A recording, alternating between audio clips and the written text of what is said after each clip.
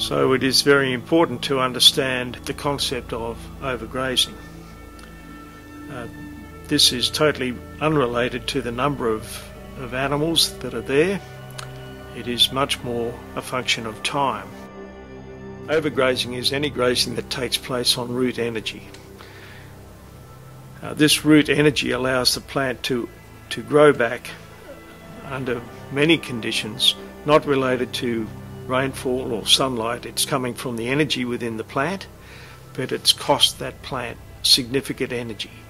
If those new leaves are grazed prematurely, the plant does not have sufficient energy to do it too many more times.